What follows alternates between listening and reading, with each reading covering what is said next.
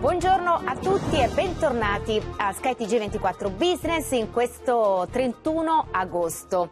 È una giornata ovviamente che eh, iniziamo parlando eh, dell'andamento dei mercati finanziari, mercati che si stanno comportando bene e stanno accelerando soprattutto in eh, questa fase, nonostante vi devo dire dati macroeconomici, ma ormai questo è un leitmotiv di cui stiamo parlando da eh, più di due mesi. Eh, nonostante dati macroeconomici deboli, i mercati continuano a mostrarsi resilienti, a fare bene. Quindi mercati in positivo, vi ricordo che a Piazza Affari, ed è probabilmente questo il motivo per cui Milano si distingue rispetto alle altre eh, borse del vecchio continente, c'è una team in grande spolvero.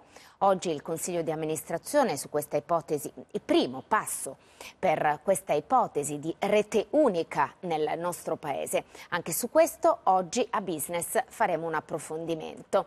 E poi il terzo ehm, fattore il prodotto interno lordo italiano. Un PIL mm, che è in netto calo, vi faccio vedere subito il dato, del 12,8% trimestre su trimestre, quindi significa eh, secondo trimestre rispetto al primo.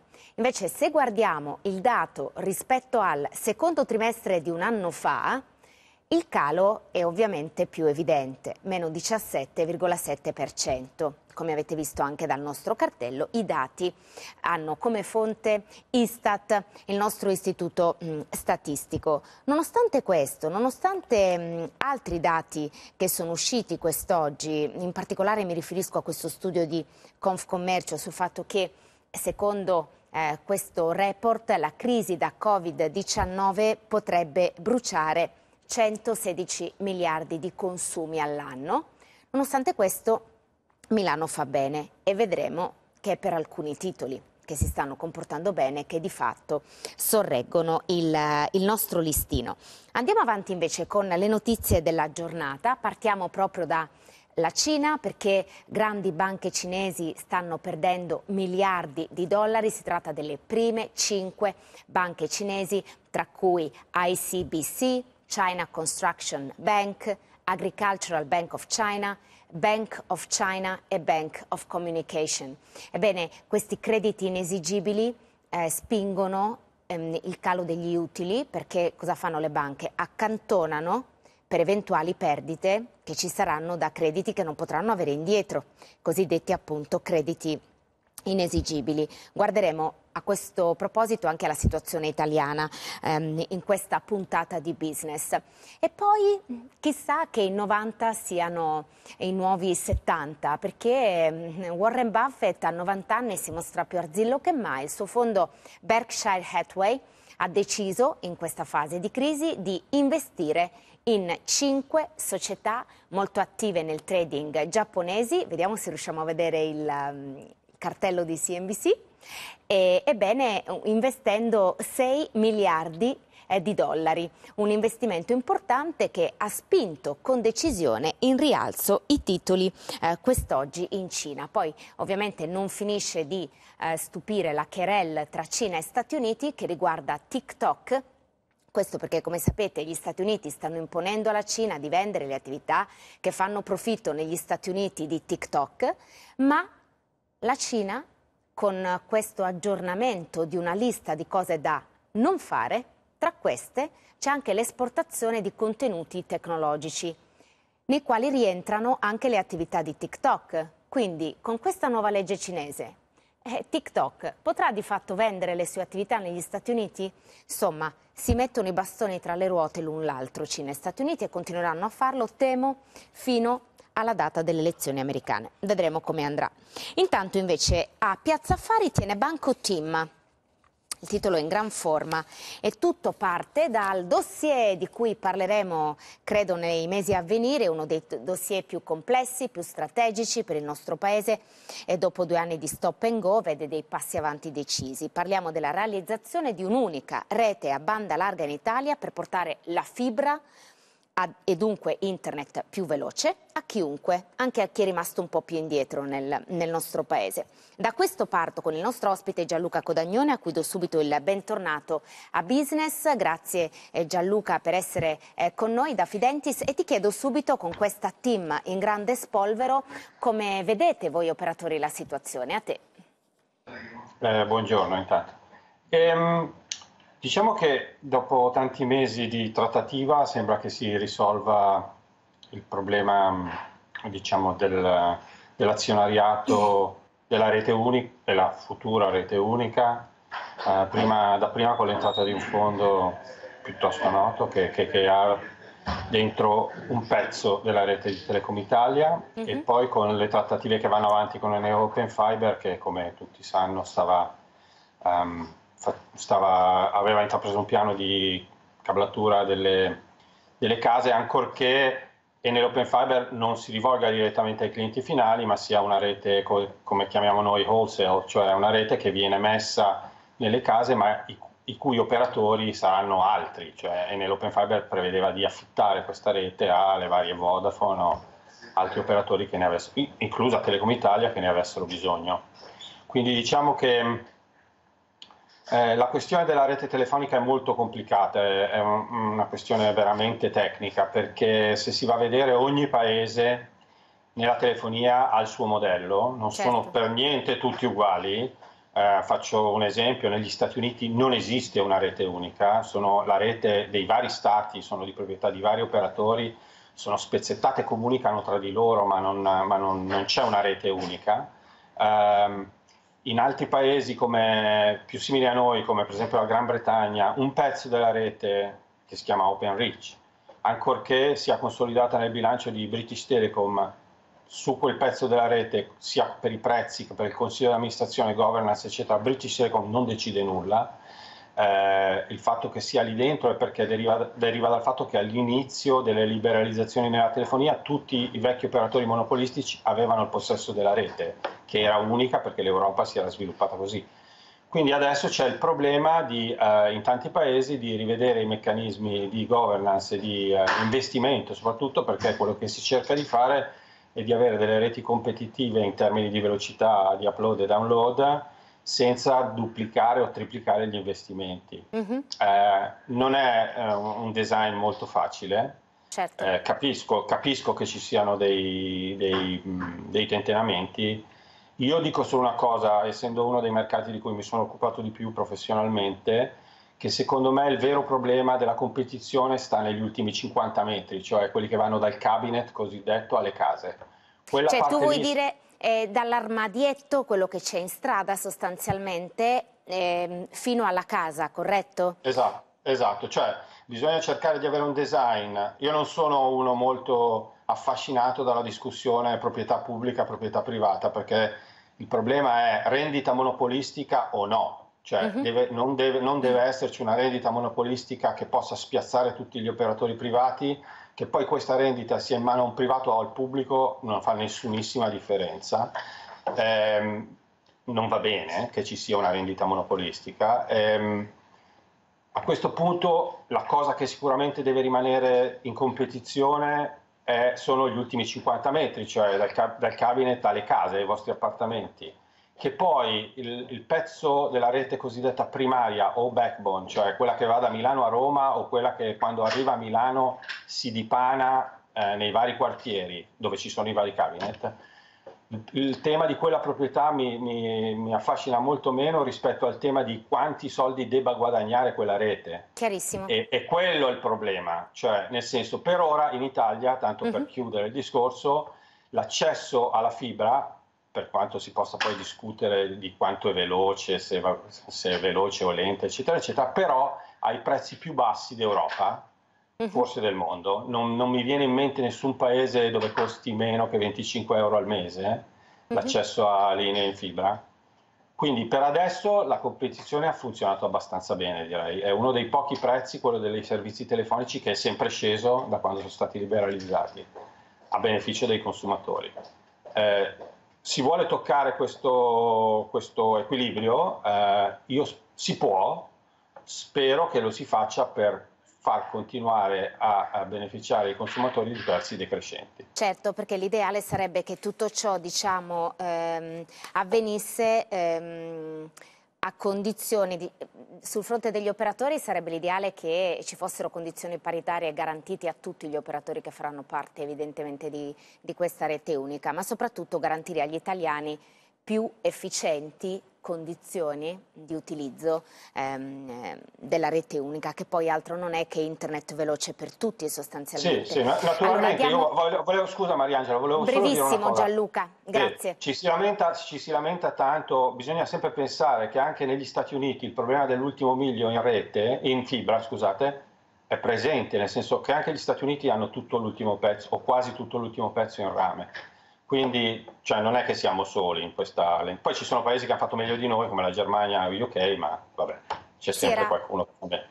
Questo tra l'altro era chiarissimo anche insomma, nel tuo approfondimento iniziale. Mm, alla fine da questo punto di vista non è che ci siano dei casi scuola, forse ce ne sono uno o due.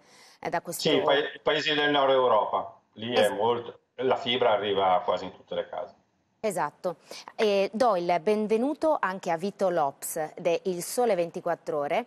Devo chiedere a entrambi, perché purtroppo il tempo vola, i tempi quelli da TG sono, di essere estremamente sintetici, eh, perché volevo affrontare con voi anche il fatto che comunque... Ehm, le borse continuano a incamerare rialzi a fronte di dati macroeconomici che non sono certo eh, diciamo, da festeggiamento natalizio. Quindi vi chiedo eh, come mai c'è questo diciamo, scostamento da quello che è l'andamento borsistico rispetto all'economia. Inizio da te Gianluca, veramente rapidissimo. Bella domanda. Non, eh, non... Allora, diciamo che il mercato per adesso è stato sostenuto dal fatto che ci sono state delle, mm, c'è stata una politica monetaria ma anche fiscale molto espansiva, come era normale che, che, succede, che succedesse, e, um, e, e eh, si spera che ci sia una, un recupero degli utili aziendali piuttosto rapido. In questo momento è scontato che se guardo i prezzi si sconta un recupero già a partire dall'anno prossimo. Che questo sia possibile o meno dipenderà mol molto da come si riuscirà a controllare eh, l'epidemia e quindi vedremo. Eh, per adesso però va così. Eh, diciamo che il mercato poi se si dovesse accorgere che si sbaglia si corregge in 15 secondi, quindi non...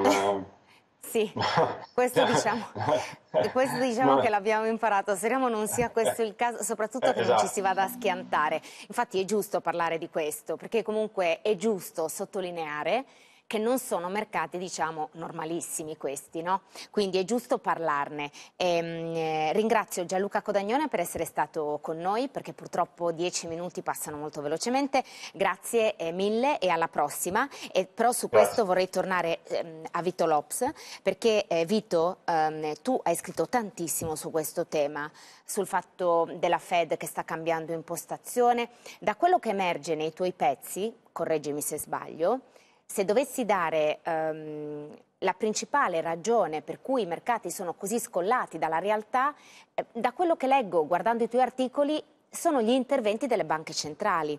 Come dire, abbiamo questi grandi clienti della pasticceria mercato finanziario, debito prodotto dagli stati, e quindi il mercato continua ad andare avanti col pilota automatico. È così? Sì, sì, è così Mariangela, perché i mercati sono sorretti eh, mi riferisco in particolare alle borse e alle obbligazioni, dalla liquidità enorme che le banche centrali stanno stanziando negli ultimi anni appunto e soprattutto negli ultimi mesi dopo la pandemia eh, per reagire, per affrontare al meglio la situazione. È chiaro che se dovesse venire meno questa liquidità eh, per le borse, eh, per soprattutto alcuni titoli di cui oggi si parla molto molto bene, soprattutto i tecnologici, comunque ci sarebbero forti, forti difficoltà. Ehm, il, il, punto è da capire quando questa liquidità eventualmente verrà drenata, verrà sottratta dalle banche centrali e le ultime indicazioni della Federal Reserve eh, del suo governatore Powell eh, lasciano in, presagire che eh, questa situazione continuerà ancora a lungo perché sostanzialmente nel, nell'ultima eh, dichiarazione ha comprato tempo affinché la Fed possa mantenere i tassi bassi ancora a lungo anche qualora l'inflazione, forte degli stimoli fiscali che stanno arrivando, dovesse ripartire. Questo, questo meccanismo, inflazione che risale, ma tassi della banca centrale che rimangono bassi, spinge eh, addirittura ancora più sotto zero rispetto ai, ai, livelli attuali i tassi reali, ovvero quelli generati dalla differenza tra i tassi delle obbligazioni e della banca centrale meno l'inflazione, e questo spinge per mancanza di alternative gli investitori a continuare a comprare in particolare le azioni e poi anche le materie prime che da un lato offrono una copertura in caso appunto di eh, futuro eh, crollo dei mercati, ma allo stesso tempo tendono ad andare sempre storicamente molto bene quando i tassi reali sono bassi o addirittura negativi. Quindi in questo momento la, le banche centrali stanno completamente condizionando le scelte degli investimenti degli operatori e quindi i dati macroeconomici eh, vengono sostanzialmente ignorati anche se negativi perché si guarda so- esclusivamente agli stimoli. Eh, chiarissimo, eh, questo mh, mm, mi fa venire in mente due cose. La prima è come se mh, mm, anche quando ci sono dei titoli diciamo cari, quindi non economici, se io ho quella liquidità ci penso meno a investire in un titolo, quindi sostanzialmente compro titoli magari anche non proprio al loro valore. E il secondo, quello che diceva Codagnone, Vito, speriamo non ci si schianti, perché comunque poi il mercato quando diciamo prende, prende molto velocemente più di quanto dà, quindi eh, bisogna sempre essere molto guardinghi relativamente alla situazione che, che, stiamo vivendo. Ti ringrazio tanto per essere stato con noi e continuiamo a leggerti su Il Sole 24 Ore. Grazie mille a Vito Lops.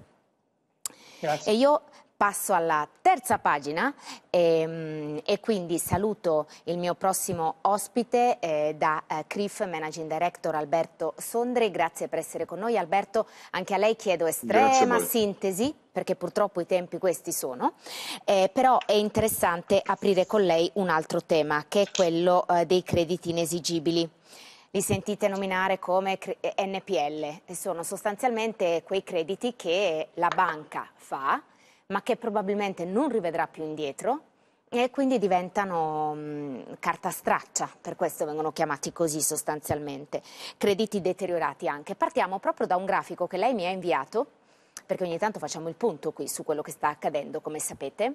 Questi sono i crediti deteriorati o NPL in miliardi di euro è evidente un miglioramento, evidentissimo direi, dal 2015 ad oggi. Eh, questi includono, mi corregga se sbaglio Alberto, anche gli UTP, la parte in grigio che state vedendo, cioè crediti che la banca sì. sta ancora cercando in qualche modo di ottenere, che spera di ottenere, corretto? Mi dica un Corretto. po' e ci racconti in un minuto e mezzo, due, qual è la situazione? Allora, la situazione, come ha rappresentato nel grafico che abbiamo condiviso, è una situazione che ha un, diciamo così, conferma eh, il trend di riduzione dello stock degli NPI, dei crediti deteriorati, un trend di, di riduzione che è iniziato nel 2016. Oggi a fine giugno abbiamo uno stock di crediti deteriorati nei bilanci bancari nell'ordine dei 132 miliardi di euro di valore nominale. Eh, perché eh, questo trend di riduzione anche a fronte del Covid? Allora, i fattori che hanno e che stanno portando a riduzione momentanea dello stock di NP sono tre. In primis, eh, diciamo che il deterioramento del credito eh, prevedibile a fronte dell'emergenza eh, sanitaria e quindi della crisi economica collegata è stato contenuto in maniera significativa dagli interventi governativi in materia di eh, sostegno dei redditi e di sostegno del credito, come le moratorie e i finanziamenti agevolati con la garanzia statale. In seconda istanza, sono proseguite le operazioni di smobilizzo, le operazioni che prevedono quindi che questi crediti passino dai bilanci bancari ai bilanci di operatori terzi attraverso strumenti di cartolarizzazione e in questo ambito nel primo semestre del 2020 sono state perfezionate circa eh, operazioni per circa 18 miliardi di euro di controvalore nominale, eh, le hanno fatte da padrona AMCO, la Bad Bank italiana e la cartolarizzazione, diciamo lo strumento di cartolarizzazione GAX che prevede una garanzia statale e in terza istanza eh, abbiamo il ruolo dei recuperi extragiudiziali, cioè tutti quei recuperi che sono, mh, diciamo così, perfezionati attraverso un accordo bonario tra parte creditrice e parte debitrice. Perché solo eh, diciamo, i recuperi extragiudiziali vengono menzionati? Perché il decreto Cura Italia ha bloccato di fatto gran parte dei provvedimenti giudiziari eh, anche eh, in particolare ha bloccato tutte le esecuzioni immobiliari che hanno ad oggetto gli immobili eh, ad uso abitazione principale dei debitori. Mm-hmm. Questa quindi è la situazione. Eh, secondo lei Alberto, eh, questa domanda proprio mi risponda pure in breve, eh, il Covid-19 ha accelerato o ha diminuito il problema? Perché dal grafico che abbiamo visto sembra proprio mm. un cammino comunque discendente nonostante Covid, quello degli NPL, o mi sto sbagliando? Sì, di fatto diciamo che c'è mascherato un problema, eh, nel senso che ad oggi il deterioramento del credito che era previsto e prevedibile a fronte della crisi economica, come detto, è stato mitigato dalle iniziative governative a sostegno, a sostegno del credito, ma sono interventi temporanei, quelli delle moratorie o della finanza agevolata, in quanto al termine delle moratorie e al termine della finanza eh, agevolata, strumenti che entrambi vanno in direzione di supportare la liquidità e quindi il fabbisogno di liquidità di breve termine delle famiglie e delle imprese, al termine di questi provvedimenti riavvieranno i piani di rimborso di questo credito. Quindi oggi sono sospese le rate dei finanziamenti, oggi si è immessa nuova finanza sul mercato garantita con dei piani di preammortamento che prevedono il ripagamento a data, l'avvio del ripagamento a data. Nel momento in cui però termineranno questi due provvedimenti, ovviamente ci sarà da affrontare una sostenibilità finanziaria di questi crediti e quindi prevediamo che ci sarà un incremento significativo eh, purtroppo dei crediti deteriorati, eh, soprattutto se la ripresa economica non avrà avuto il suo corso. Chiarissimo. Le faccio un'ultima domanda, invece sempre riguardante la nostra situazione.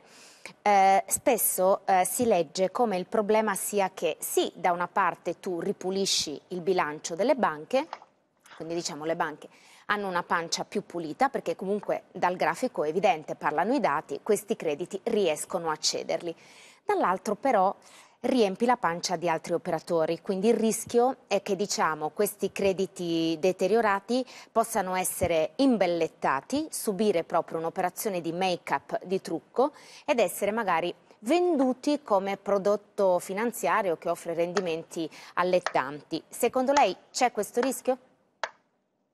Ma sicuramente il, il, credito non si risolve, quindi il debito non si risolve con la cessione. La cessione è uno strumento per ridurre eh, l'importo dei crediti deteriorati nei bilanci bancari, uh-huh. ma mhm. di fatto per l'economia reale eh, la cessione eh, non porta nessun effetto, trasferisce solo la titolarità del credito. Quindi sicuramente oggi in circolo ci sono ancora oltre 300 miliardi di crediti deteriorati, in parte nei bilanci bancari, in parte su investitori terzi, che ovviamente acquistano questi crediti anche, eh, diciamo così, per il tasso di interesse che generalmente, o il tasso interno di rendimento che generalmente questo tipo di operazioni porta.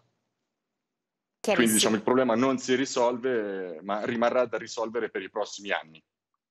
Sì, sì, ehm, molto chiara la sua analisi. Grazie dunque ad Alberto Sondri per essere stato con noi. Grazie mille anche per la chiarezza, te, Alberto. Alla prossima. Grazie. Intanto, ehm, io prima di ehm, lasciarvi volevo dirvi Sapete qual è il peggiore dato sul prodotto interno lordo nell'area euro? Non è il nostro, è quello della Francia. Nel secondo trimestre 2020 l'Italia in generale ha fatto peggio della media di Eurolandia, ma meglio dei francesi per il prodotto interno lordo secondo i dati Istat nel complesso, perché il PIL della Francia diminuisce sostanzialmente del 13,8%, non del 12,1%. Um, ehm, quindi questo dato, anche a mo' di curiosità, eh, lo volevo sottoporre. So che sento la, la sigla che incombe, però vi volevo lasciare con questo tweet dell'economista premio Nobel Paul Krugman che fa i conti alla situazione svedese. Vi ricordate immunità di gregge, la Svezia comunque non ha bloccato la sua economia?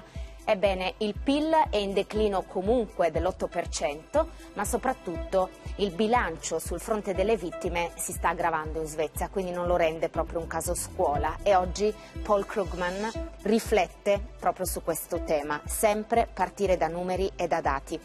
Io vi lascio qui, vi ringrazio tantissimo per avermi seguita e vi lascio all'edizione delle 12 del nostro telegiornale. Noi ci ritroviamo più tardi.